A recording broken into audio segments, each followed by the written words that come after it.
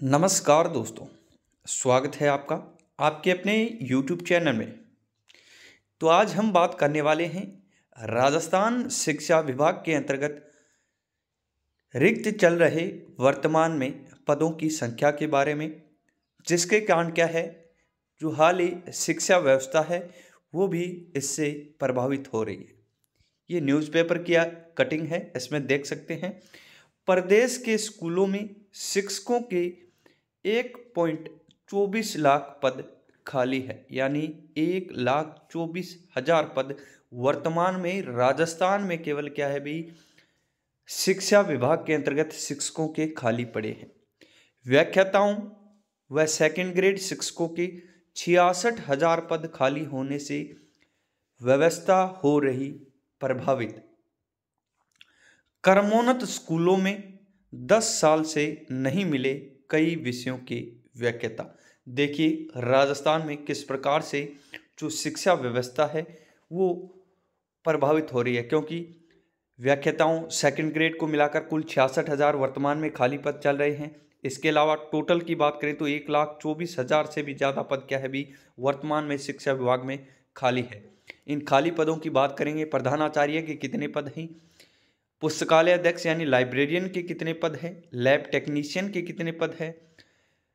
First grade के कितने हैं? सेकंड ग्रेड के थर्ड ग्रेड के, व्याख्याताओं के।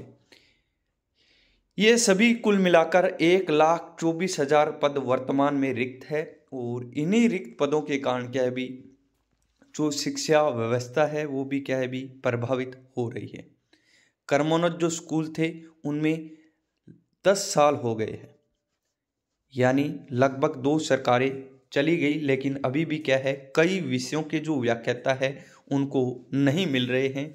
बोर्ड की कक्षाएँ भी क्या है, भी प्रभावित हो रही है। तो सरकार को इसके लिए चाहिए कि जल्द से जल्द ये जो पद है, एक लाख चौबीस हज़ार खाली पड़े हैं, इनमें से लगभग पदों पर क्या है, नई वैकेंसी निकाले। वर्तमान में बात करें शिक्षकों की तो काफ़ी पद खाली हैं। इसके अलावा जो लाइब्रेरियन हैं, उनके भी हज़ारों पद वर्तमान में खाली पड़े हैं।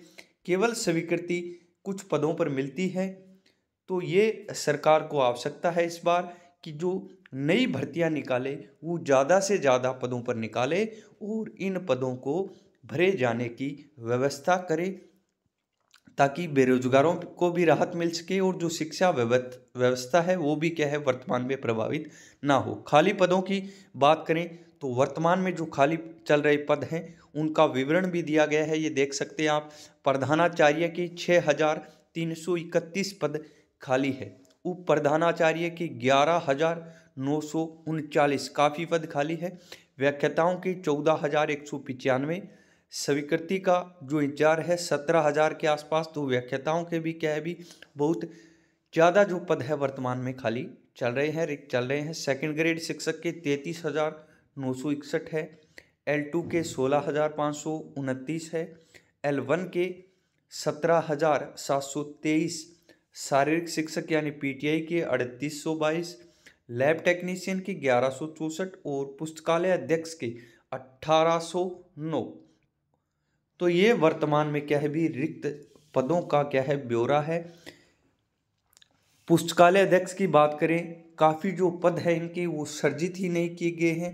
तो भी आपके बहुत सारे ऐसे स्कूल हैं जिनमें क्या है, पुस्तकालय अध्यक्ष का पद ही नहीं है तो काफ़ी वर्तमान में जो पद है, वो रिक्त चल रहे अठारह सौ नौ का तो विवरण ही दिया गया है, लेकिन हज़ारों और पद भी क्या है, वर्तमान में जो रिक्त है, वो पुस्तकालय अध्यक्ष के पड़े हैं। तो सरकार को जल्द से जल्द चाहिए कि जो पीटीआई की तर्ज पर स्टाफिंग पैटर्न पुस्तकालय अध्यक्ष में भी लागू करें, और इनके जो हज़ारों पद है, जिनमें हज़ारों स्कूल है जिनमें क्या है, वर्तमान में जो पद सर्जित नहीं हुआ है, उनका सर्जन करे और वर्तमान में नई भर्ती नई भर्ती जो निकाले, उनमें हज़ारों पद दे ताकि पुस्तकालय अध्यक्ष के ज़्यादा से ज़्यादा जो पद है, उनको भरा जा सके और बेरोजगारों को भी राहत मिले पुस्तकालय अध्यक्ष से संबंधित। इसके अलावा इनकी जो शिक्षा व्यवस्था है, वो भी प्रभावित ना हो। तो ये सबसे बड़ी जो पुस्तकालय अध्यक्ष के अंतर्गत है कि इसमें स्टाफिंग पैटर्न लागू करने से हज़ारों पद वर्तमान में सर्जित होने की संभावना है। इसके लेकर क्या है भी, सभी को एक साथ आवाज़ उठानी चाहिए। इसके अलावा जो भी शिक्षा से संबंधित ये जो रिक्त पद जो वर्तमान में सभी चल रहे हैं, चाहे शिक्षक के हो, प्रधानाचार्य second grade first grade third grade के है पीटीआई के है लैब टेक्नीशियन के है, इन इन सभी पदों पर वर्तमान में नई भर्ती ज़्यादा से ज़्यादा पदों पर निकाले और शिक्षा व्यवस्था को सही ढंग से क्या है भी सुचारू रूप से चलाने का कार्य वर्तमान सरकार करे। ये दे रखा है भी।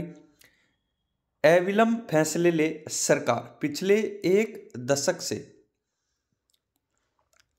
कर्मोन्नत स्कूलों में अनिवार्य हिंदी, अंग्रेज़ी के व्याख्याता के पद ही सर्जित नहीं किए गए, यानी शिक्षकों के भी ऐसे पद हैं जिनको सर्जित अभी तक नहीं किया गया है। तो ये सर्जन भी किया जाए साथ में। पिछले तीन वर्षों में कर्मोन्नत छः हज़ार स्कूलों में व्याख्याताओं के पद सर्जित नहीं है, यानी ये जो रिक्त पद दे सक, दे रखे हैं, इनमें सर्जित करने के बाद और ज़्यादा अधिक जो रिक्तियाँ हैं, वो होगी। लेकिन वित्तीय स्वीकृति जारी नहीं की गई है। पिछले तीन वर्ष में कर्मोन्नत छः हज़ार स्कूलों में व्याख्याताओं के पद सर्जित कर दिए हैं, लेकिन वित्तीय स्वीकृति जारी नहीं की गई। शैक्षिक गुणवत्ता की बात तो की जाती है, लेकिन धरातल पर कार्य नहीं होने पर बच्चों का अध्ययन बाधित हो रहा है। सरकार को सभी मुद्दों पर बच्चों के हित में अविलंब फैसले लेने चाहिए। उपेंद्र शर्मा, प्रदेश महामंत्री, राजस्थान शिक्षक संघ शेखावत इसी अनुसार सभी जो भी शिक्षक संघ हैं पुस्तकालय अध्यक्ष संघ हैं, अन्य जो भी शिक्षा से संबंधित जो संघ हैं, उनको भाई एक साथ क्या है मिलकर ये जो बेरोजगारों को राहत प्रदान करने का और साथ में क्या है जो छात्र हैं, उनकी जो शिक्षा व्यवस्था है वो बाधित ना हो, इसी को मिलकर एक साथ आवाज़ उठानी चाहिए ताकि ये जो नई तबादला नीति है वो जल्द से जल्द तैयार की जाए, डीपीसी की जाए, सेटअप परिवर्तन की कमी से जो शिक्षकों की कमी है। उनको पूरा किया जा सके। इसके अलावा जो पद सर्जन किए जाने हैं स्टाफिंग पैटर्न जिस प्रकार पुस्तकालय अध्यक्ष में किया, लागू किया जाना है, वो भी लागू किया जाकर ज़्यादा से ज़्यादा पदों का सर्जन किया जाए। और यही जो सभी को एक साथ मिलकर है, वो आवाज़ उठानी चाहिए। वर्तमान में पुस्तकालय अध्यक्ष के अठारह नौ पद खाली है, लेकिन इनके सर्जन में हज़ारों पद खाली होंगे। तो इनकी भी क्या है, ज़्यादा से ज़्यादा पदों पर नई वैकेंसी जल्द से जल्द जारी की जाए, यही सभी को एक साथ मांग है वो रखनी चाहिए।